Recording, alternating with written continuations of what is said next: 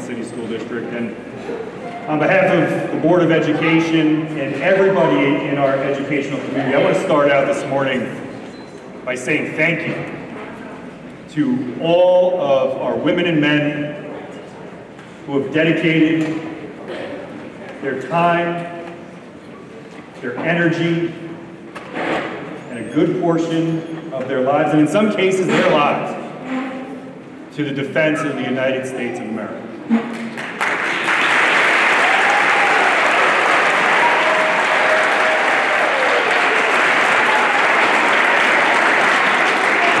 Here, here at White Plains, here at White Plains, we take our patriotism very seriously.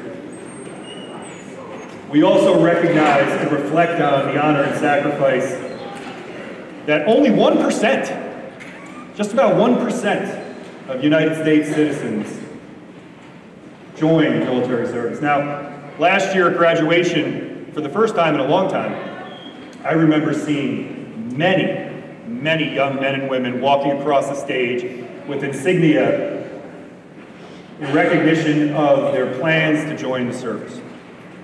This is an honorable choice, but more, it is the choice that continues to demonstrate that one of the most important responsibilities that we have as citizens and community members is to recognize our own responsibility to the furtherance and support of our nation. Tomorrow, we honor our veterans. Today, we begin that honor and celebration here at Eastview as we have for many years. I want all of us to remember that no matter what our contribution is, whether it be community service, whether it be volunteering in our churches or places of worship, whether it be helping somebody who, who just needs a hand, whatever we do makes a positive impact. And the men and women that we're celebrating today have made an extraordinary impact over time. So thank you very much for being here this morning.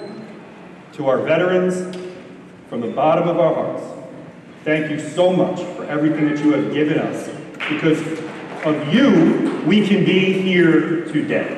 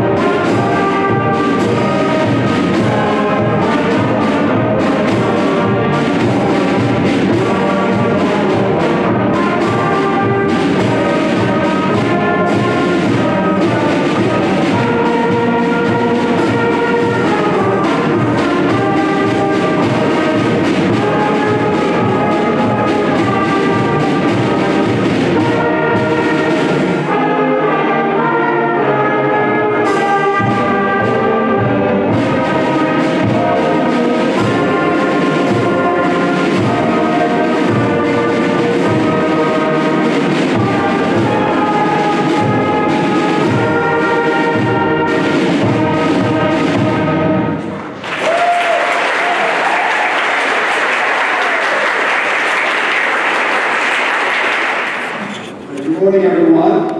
I'm Tom Roach from Air City White Plains. My pleasure to be with you here today. I spent a lot of time in this room. I had two boys come through here. If you tell it, well, White Plains, all the music program, great to see Miss Mezziani up there, still doing it. She, two horn players came out of here, um, and one of them was playing a concert with a rock and roll band tonight, and it's all from house, so it really worked out. Um, I want to point out to everyone who's, first of all, thank you to our veterans who are here for your service. Let's have a round of applause for them.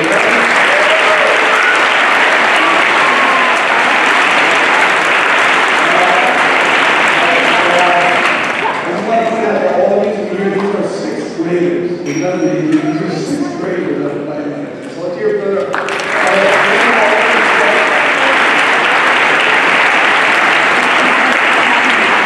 Dude, one is summer, one one is now teaching actually, and I'm kind of seeing the others, uh, sophomore in college. But when I talk to them sometimes, they talk to me about, they tell me about my generation. Well, your generation, you know, all this stuff about me that, that they don't.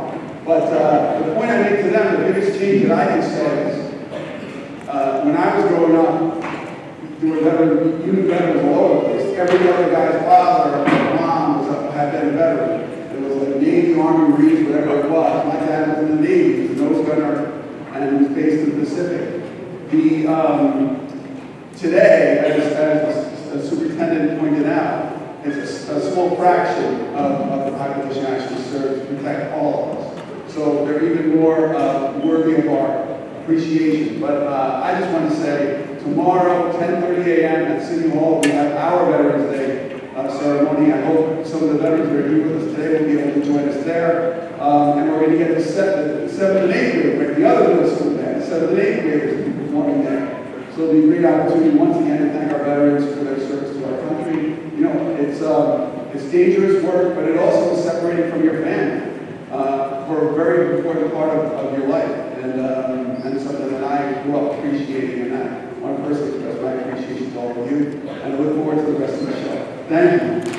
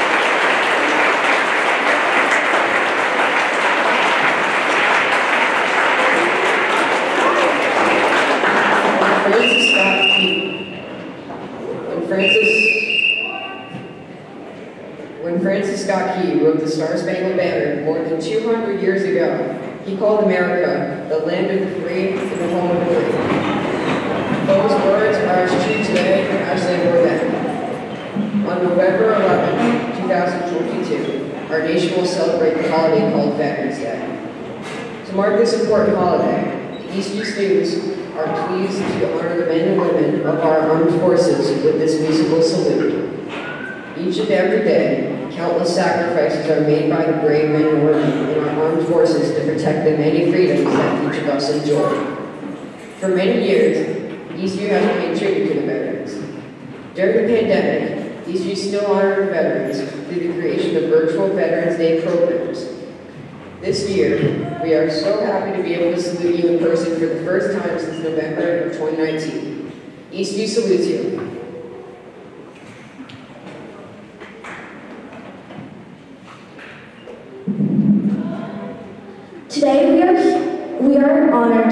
Veterans among us. And many of you in this audience may have friends and family that have served or are currently serving in the armed forces right now. To the veterans that are here with us here today, and to the families of the veterans, we thank you and we will not forget the sacrifice that you have made for each of us.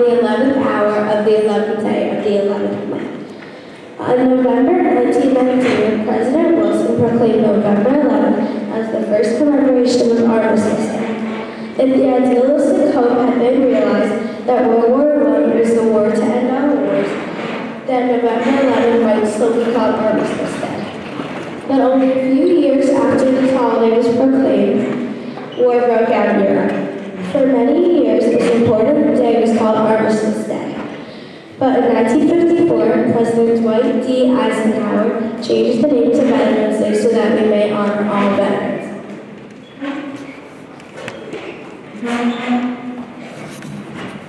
Eastview is honored to welcome our guest speaker, Mr. Burton Jones, to our school today.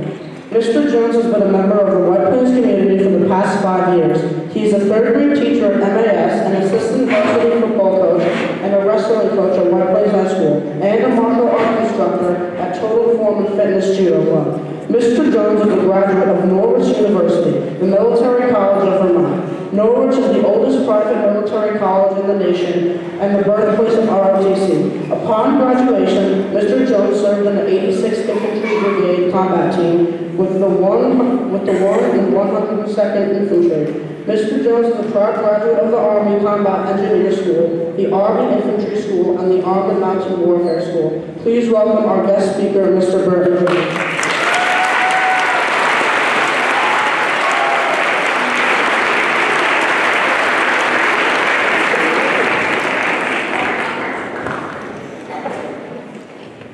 Morning, Eastview students, faculty, staff, friends, and fellow veterans. Thank you for that warm welcome. It is my honor to be here to celebrate and observe Veterans Day with you all. I want to start by thanking Mr. Hamnes for putting together such a thoughtful and respectful presentation year after year. This is my second Veterans Day celebration at Eastview, and once again, I am thoroughly impressed with all the moving parts and the amount of work that has clearly gone into everything. So thank you to everyone that helped put together another awesome event. Another awesome event.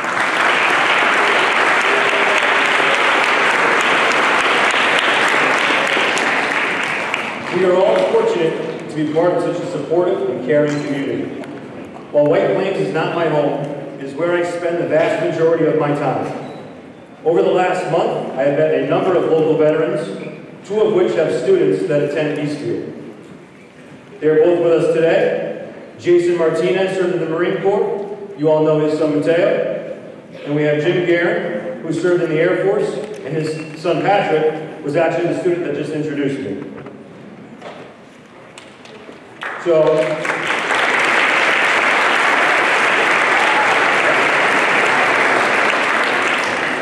So I want to personally uh, thank Jason and Jim for coming today to make our celebration even more special.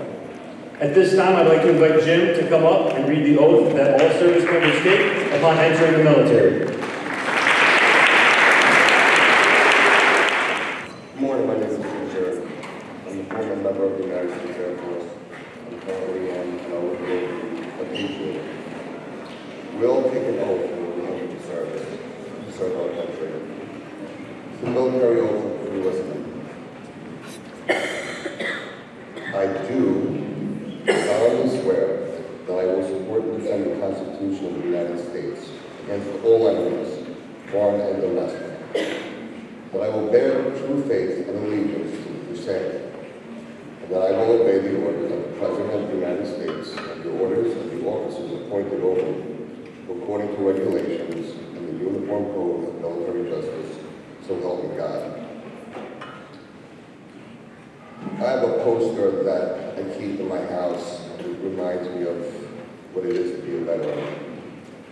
It says a veteran, whether active duty, discharged, retired, or reserve, is someone who, at one point in his life, wrote a blank check being payable to the United States of America for an amount of up to including his life.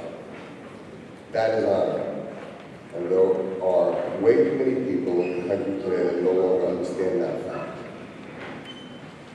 As you gather around your Thanksgiving table this year, remember to give thanks to our troops fighting to keep us safe. May God watch over them and keep them safe. God bless America. Thank you.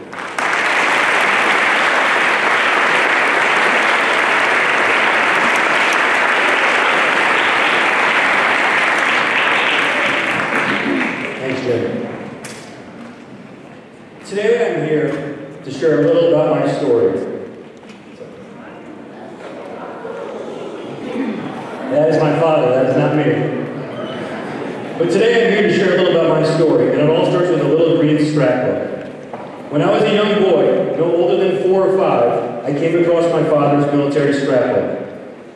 This is where he saved all documents from his time in the Army in the late 60s and early 70s. I can still remember sitting on the couch and flipping through the pages, picturing myself in the uniform. I couldn't wait to grow up so I could join the military and make a book of my own. I held on to that dream throughout my childhood, and after graduating high school, I got my first taste of the military when I went on to attend Norwich University, the oldest private military college in the nation. I arrived in Norwich and had few expectations beyond Hollywood's interpretation of military school.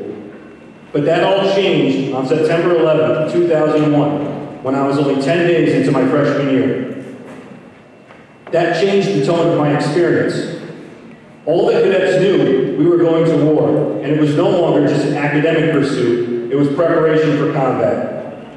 Norwich taught me many valuable lessons and ultimately prepared me for my time in the Army. Tucked away in the mountains of central Vermont, Norwich was a perfect training ground for those looking to test themselves in the art of mountain warfare. The winters were long and provided a harsh climate with extreme temperatures.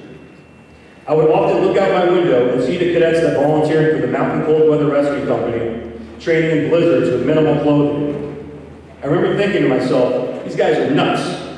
I would often praise them and poke at them in good fun, reminding them that we should be preparing to fight in the desert, not the North Pole. Well, little did I know that only a few years later, I would end up serving in mountain infantry. And while I had peers that were shipping off for training in South Carolina, Florida, Georgia, and San Diego, I would be spending more time in the beautiful but cold mountains of Vermont. My time in the Army went fast, as life tends to do. I was honorably discharged after, after just over eight years of service. I spent a large sum of time away from my family and friends, missing countless birthdays, weddings, and other special events. But when I reflect on those years, I am nothing but proud of my service. I trained soldiers to be the toughest versions of themselves, as mountain warfare is not for the weak of heart. Being a military mountaineer gave me purpose and a sense of pride. It tested my toughness, both physically and mentally. I was very fortunate in my experience. You see, all veterans sacrifice their time, and we only have a limited amount of time in our lives. While I did sacrifice my time, I had friends and comrades that gave more. Some suffered from PTSD and had mental health issues. Some lost limbs and suffered from chronic pain, and others made the ultimate sacrifice and lost their lives. There are approximately 18 million veterans in the United States today. I am one small piece of a very large puzzle. Today, I am one of thousands standing before people just like you in locations all over the world, speaking about our veterans. It is a special day, one set aside as a reminder of the sacrifices and service of men and women who have valiantly and selflessly put their country before themselves. Indeed, this day helps focus our attention on the key purpose of Veterans Day, a celebration to honor America's veterans for their patriotism, love of country, and willingness to serve and sacrifice for the common good. Before I conclude my speech, I just want to say that this is exactly what service members fight for. This. It's all of us. It's all of you. It's the American spirit, and I can feel it in this auditorium. This great American experiment. America is the greatest idea in human history. America is your freedom to speak freely, your freedom to pursue happiness, and your freedom to take risks. The best way to honor and thank our veterans is to take an active part in maintaining freedom in America and be part of serving something larger than oneself. You do not have to join the military to do this. Americans can say thank you by taking full advantage of all your rights and freedoms that have been defended. If we want to preserve our freedoms, we must put them into action. I know most of you in attendance are in sixth grade, but remember, you can always volunteer your time to help your community. And as you get older, vote in every election. Fulfill your jury duty. Be a volunteer firefighter or EMT. Mentor an underclassman. Represent your country while abroad. Register for selective service, and yes, maybe consider serving in the military. Live your lives, enjoy our freedoms, and be good Americans. Then all veterans will be proud to know that their sacrifices were not in vain. I want to conclude by saying Veterans Day isn't just for veterans. It's a day for all Americans. It's a day to remember why they were fighting and a day for all of us to begin our journey of protecting our freedom and the freedom of many future generations. Thank you for honoring our veterans today. Let us walk toward tomorrow still honoring them by living in the freedom that our veterans have protected. God bless you all, and God bless America.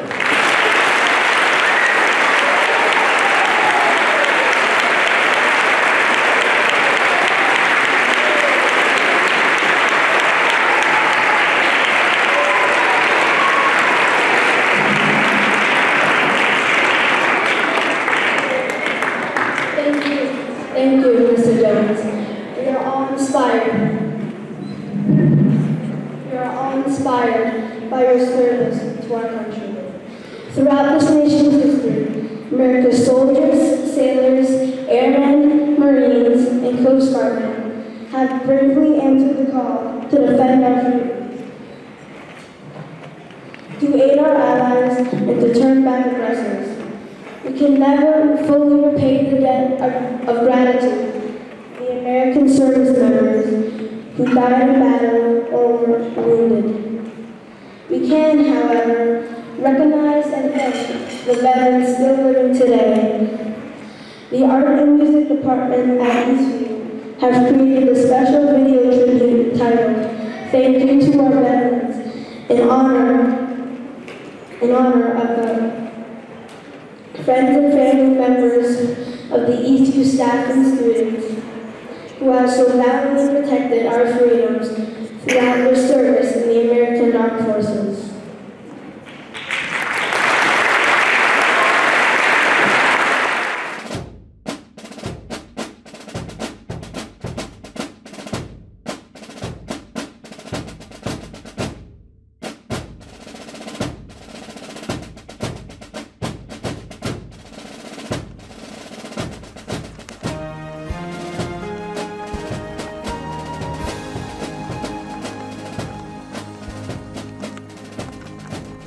Over 10 years, our school has honored our veterans. We celebrate and honor America's veterans for their patriotism, love of country, and willingness to serve and sacrifice for the common good of our nation.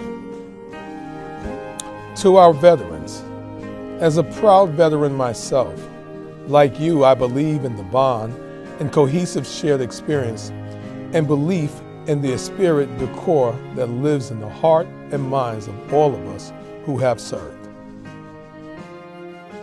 Valiantly, you have stood to serve our nation, and we too stand as we salute you for your bravery and your courage. Our school video is an appreciation of your service. Thank you and enjoy.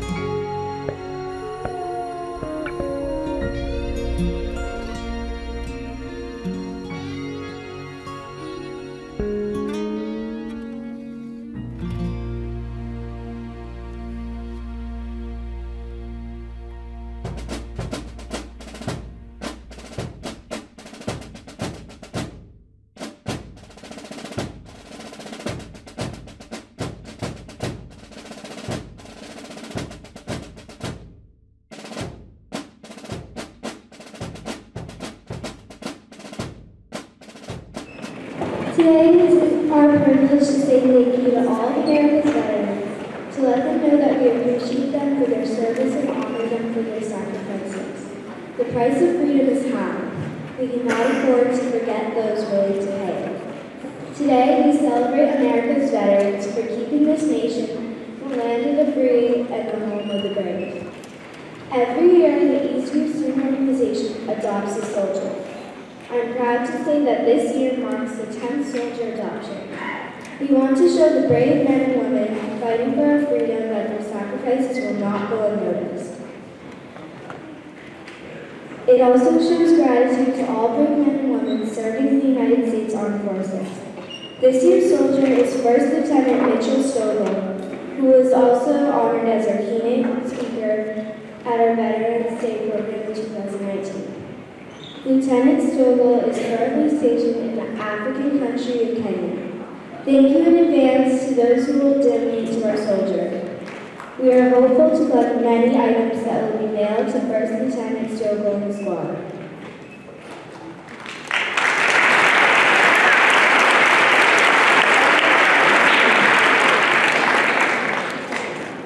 When America had an urgent need, these brave ones raised a hand. No hesitation led them back. They were proud to take a stand.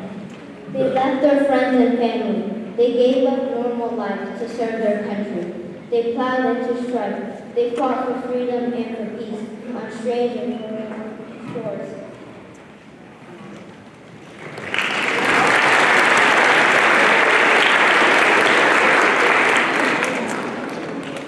Some lost new friends, some lost their lives.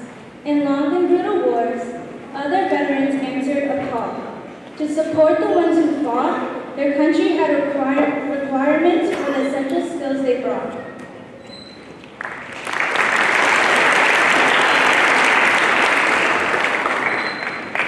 This we salute each and every one of them, the noble and the brave, the ones still with us here today, and those who rest in their grave. So here's to our country's heroes. They are caught above the rest. Let us give the honor that is due to our country's very best.